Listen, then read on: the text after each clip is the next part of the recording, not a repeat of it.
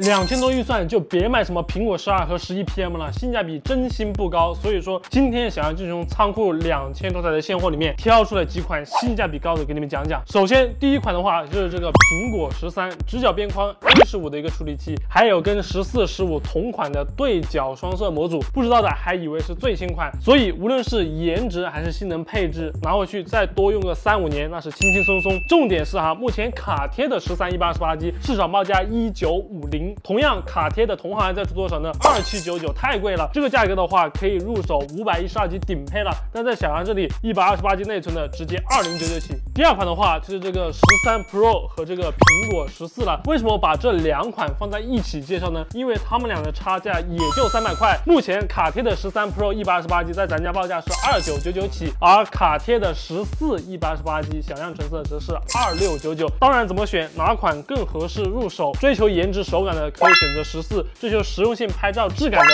可以选择十三 Pro。第三款十四 Plus 那就可真厉害了哈，不管是性能续航方面，还是性能配置，都是能够轻松拿捏的。同价位一个能打的都没有。今天这一批啊，都是今天刚到没有质检完的机器。目前像这种卡贴的十四 Plus 一百二十八 G 小花成色的，在小杨家低至二八九九就可以入手一台。当然，如果说对成色要求比较高的，小亮和亮机的话，差不多都是二九九九和三零九九。那么如果说是你会怎么选呢？当然，以上我说的这些机器都能保证是纯原无修的哈。现在入手还有这些配件大礼包哈，即刻拥有一百八十天质保服务。好了，我是小杨，专做精品二手手机，我是认真的。